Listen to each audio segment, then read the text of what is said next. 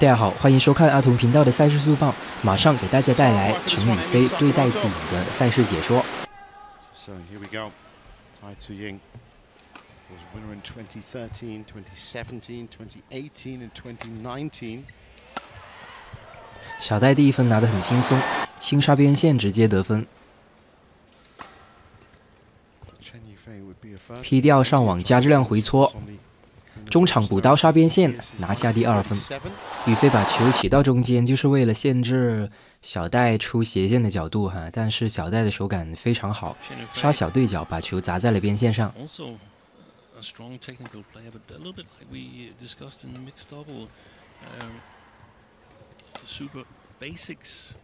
耐心控制宇飞的底线。又是一次非常轻描淡写的正手轻杀。宇飞对自己反手侧的防守做的不是很好，开局到现在已经丢了好几分了。被动高调，宇飞压一拍平高，杀斜线，不错，这个套路先是一拍平高球，把小戴的重心向后带，然后把球砸向小戴斜线的空当。Gives it to you. 双方再一次形成高质量的底线相持，然后是宇飞的正手强攻中路，小戴杀中路加回放，头顶抛高，宇飞起跳，但是没有杀球，而是快速的压了一拍斜线平高球，有点让小戴出乎了预料。小戴轻杀上网加质量回搓，宇飞起跳反击一拍。小戴收掉上网，再次加质量回搓，宇飞抓扑没扑死，这是因为小戴的回搓非常贴网. Oh. 宇飞压斜线平高球被小戴直接跃起截杀了，小戴对宇飞的平高球有所提防了。头顶区的杀上网，好球！Excellent. 小戴高点抢勾对角，收掉。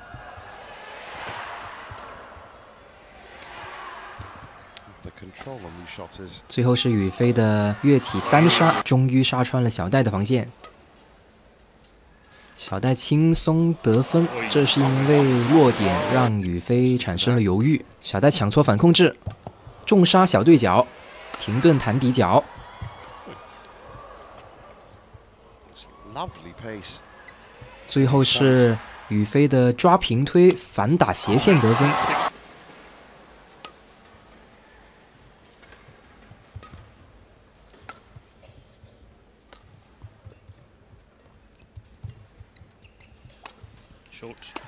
宇飞打出平高球之后，看了一下自己的拍子，似乎是刚才那拍平高球出球质量不甚理想。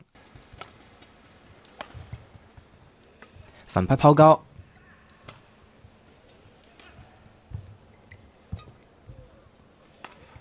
回勾，宇飞抢搓，小戴再勾，又是一次小戴招牌技术的得分，这是属于小戴专属的技术变现 uh,。uh, 小戴收掉.没有晃到宇飞，小戴拼落点加上网推过顶，打了宇飞正手底角的一个转看不及。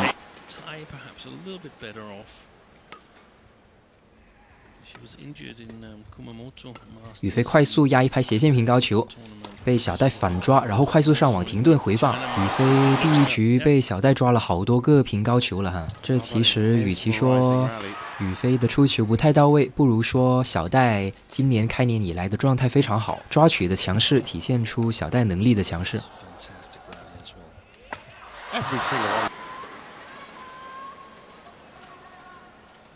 小戴重杀边线，还是从宇飞今天表现不佳的反手侧的接杀突破了。小戴开局加质量回搓，被宇飞快速弹出了正手底角。此后，小戴就陷入了一系列的被动。The step before the attack. 宇飞刚才反手拦抽了一拍，双方形成斗网。小戴很敢搓，搓的又贴又转，Reply from Tai Tzu Ying.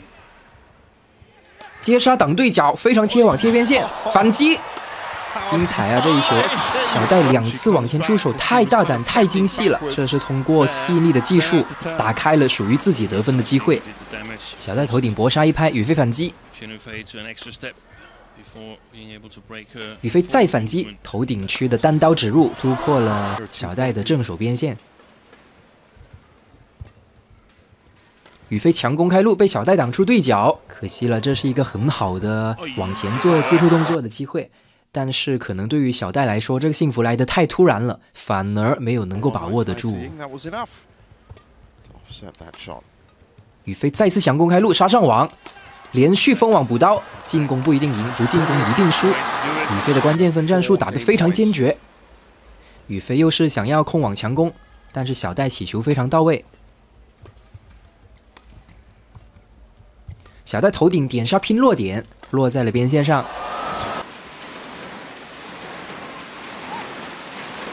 getting into this one. How could you not? And it's one anyway, Tai Ying, but looks like she's a little bit concerned with the progression of this. And she has the advantage. Uh, Chenifei trying to uh, control a bit more. 通过以假乱真的收掉，先把宇飞的重心向右前方带，然后再快速的以假放真推的技术把球推向宇飞的空当。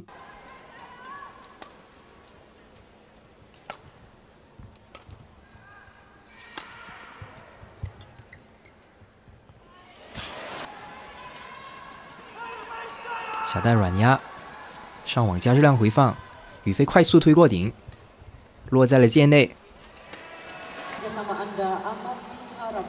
小戴重杀，快速高点弹过顶，又是招牌的收掉。今天小戴的收掉可以说是非常逼真了，这是因为有强势的抓取作为铺垫。双方形成斗王，小戴强挑过顶，接杀挡对角。正手杀大对角，再拿一分。那么这个阶段很明显的一个迹象就是，宇飞的速度越来越跟不上小戴了。这不仅仅是能力上的差距，而且还是技术上的差距。小戴的手上技术让宇飞的跑动产生了很多的不舒适。宇飞似乎是不想打多拍了，有两到三次咬牙的强攻啊。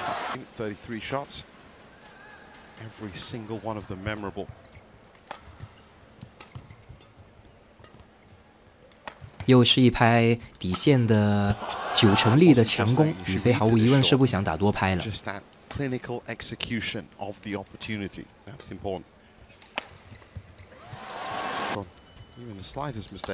宇飞杀加高挑，小戴头顶收掉，横向连贯正手下压，宇飞反击头顶单刀直入高点停顿回放，小戴的低点斜线摆脱没有能够摆脱出去。好球啊！小戴的边线拼落点换连贯。又是一拍头顶区的搏杀斜线，宇飞把第一局最后几分的关键分打法一直带到了第二局，延续到了现在。那么从得分数据来看的话，宇飞制定的这个思路很显然是合理的，因为根据过去的回合，多拍相持会给小戴用头顶收掉技术以及往前各种技术的机会。那么宇飞要做的就是通过搏杀来减少相持，不给小戴做这些技术的机会，从而把局面导向。对自己相对有利的方向。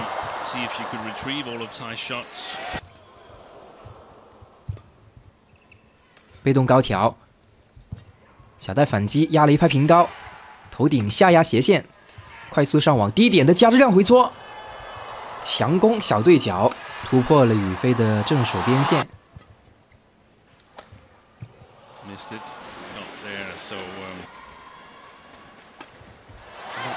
刚才宇飞的那两个主动杀球的丢分啊，传递出了次局下半局的一个信号，就是随着他搏杀、搏快、搏少拍的能力下滑，双方的拍数有重新增多的趋势，胜利的天秤又重新的向小戴的方向稍微倾斜了一点点。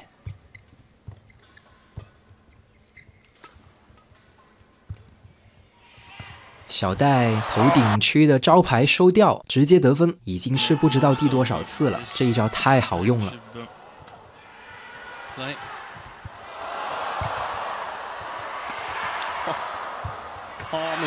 那么小戴的头顶招牌收钓，在中国大陆这边呢，也有一个非常有趣的名字，叫老头钓，因为这一个技术经常出现于中老年爱好者之中。但是从这场比赛来看，我们知道了一个道理，就是技术没有高低级之分，只要实力足够强，那么再接地气的技术也能用出很高大上的效果。Very much the conditions, obviously, here at the Axiata Arena. 那么我们对第二局做一个简单总结，就是双方的战术还是没有变。宇飞主要还是输在个人能力的下滑，为了避免像我们刚才所说的一样形成多拍相持，宇飞依旧采用了博快、博杀、博少拍的战术策略。但是呢，成功率大大降低了，要么杀下网，要么杀出界，要么杀过去，被小戴加质量的挡了回来，导致自己连贯不及。小戴这边呢，多拍又占优，像宇飞一样的博快、博杀、博少拍也同样占优，所以最终就体现在了比分的差距上。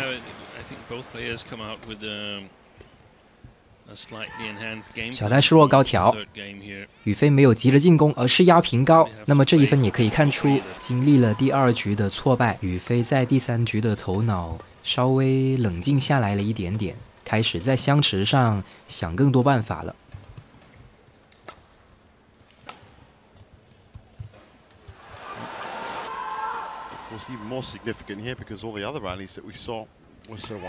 双方形成斗网，小戴示弱高调。宇飞强攻没攻死，最后是平抽中反击得手。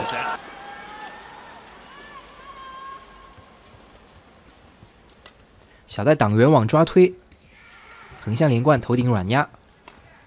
宇飞头顶点杀斜线，再次被小戴加质量挡了回去，出现了第二局关键分的情况。宇飞的球威压不住小戴了，那么就会给了小戴分球或者加质量的机会。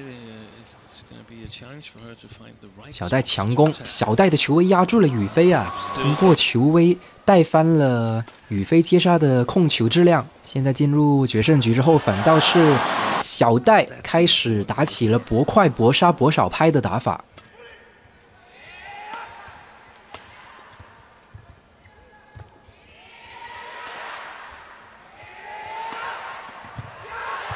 宇飞第一拍下压打得很聪明，通过一个点杀的技术动作，把球点向了小戴的正手边线，没有依赖力量打球威，而是通过技术打落点。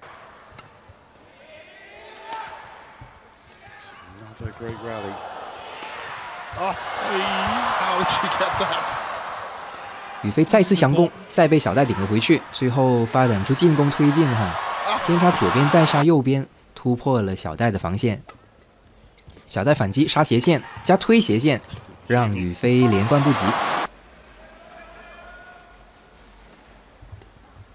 正手重杀，直接拿下比分。宇飞今天反手侧的防守接杀做得不太好。小戴杀中路。加这样回搓非常贴网，而且旋转中半场补刀，这是小戴的技术特点。一旦给他往前加这样的机会，他真的可以把球搓得像龙卷风一样旋转。宇飞杀加放，小戴再次高挑，非常耐心。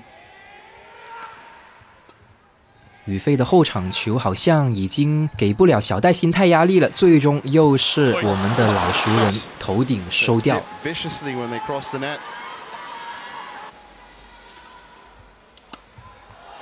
那么这一个直接起跳的重杀呢，有可能是宇飞接下来摔杯为号的信号了。接下来可能宇飞的每一个回合都是这样子打，又要开始发起第二局关键分的搏杀攻势了。first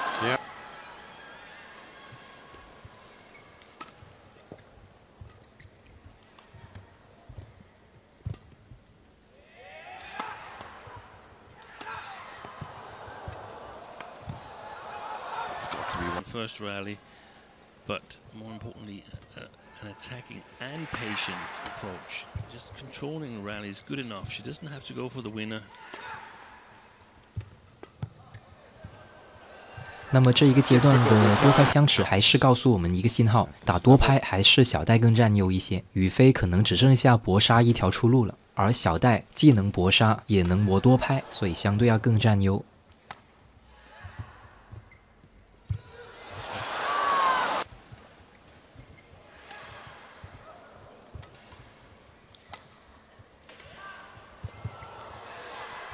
这一分太可惜了哈！小戴已经像刚才的多拍相持一样，逐渐占据了主动优势，完全是输在了自己的失误上。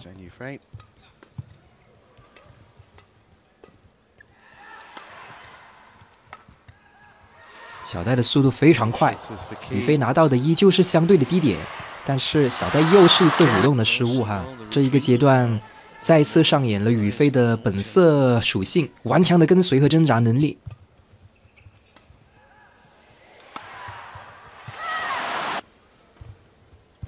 宇飞软压，小戴被动抛高，低点勾对角，正手强攻。宇飞顶了回去，防守非常强硬。界外，那么接下来小戴就很危险了。宇飞现阶段的状态有点回暖，假如他还是像前面的关键分那样子搏快、搏杀、搏少拍的话，很有可能一下子就冲到了二十一分钟点。宇飞的后仰过度有大破绽，那么小戴也是抓到了这个破绽，转化成了自己的得分。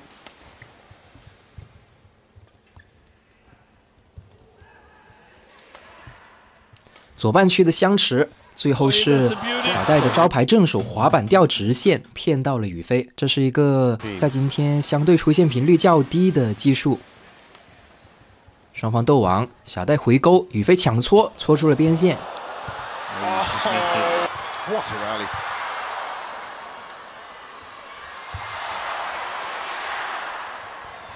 再 收掉，宇飞跟的不错，适应节奏了。那么小戴的节奏也有点慢下来。最后没想到会是这样子的结局啊！是小戴的运气滚网啊！太戏剧了这一分。那么刚才阿童说，宇飞说不定会通过搏杀的方式来快速冲到二十一分钟点。现在的话，童哥可能要收回这个观点了，因为这个多拍毫无疑问让宇飞元气大伤。接下来。宇飞很难再打出第二局关键分那种有威胁的搏快搏杀攻势了。小戴在圆网的平抽中拿到了高点形成封网，那么在圆网相持如此均势的局面下，依旧能够被对手抓到得分机会，说明宇飞现阶段的精气神啊是有一个非常急剧的下滑。小戴加质量回搓，强攻边线，补刀。小戴的补刀没打准的，但是反倒是这样子阴差阳错，让自己的球威变弱了一些，导致落在了界内啊。宇飞头顶搏杀一拍，好不容易追回一分。